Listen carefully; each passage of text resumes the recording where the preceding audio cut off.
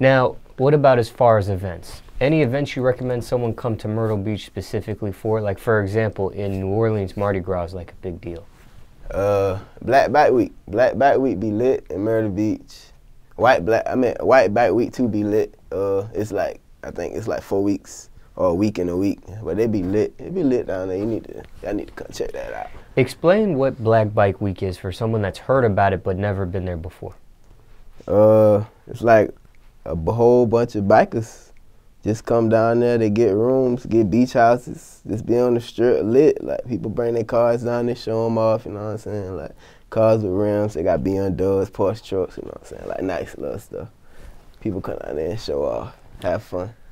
What are some do's and don'ts Black Bike Week? Uh, don't get finessed. Niggas be out there finessing.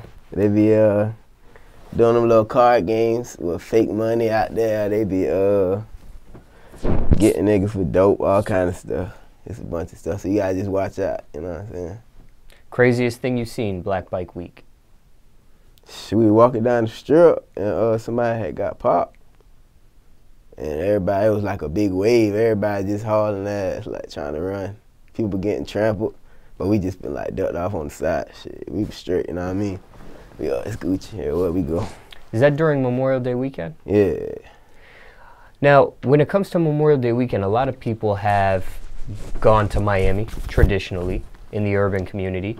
Now, a lot of people go to Vegas for Memorial Day weekend as well. Yeah. Um, do is there still the same amount of people that go to Black Bike Week, or has it been dying down, or getting I mean, turning up more, or wh- what have you was- seen the last couple of years?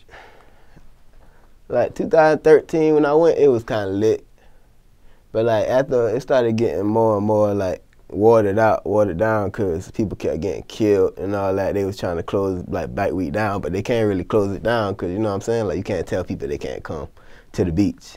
So I mean, I mean it done got kind of dry now because they got so much like different stuff. They try to make people go in a certain time and have gates and all that. But I mean, you know what I'm saying. Got you.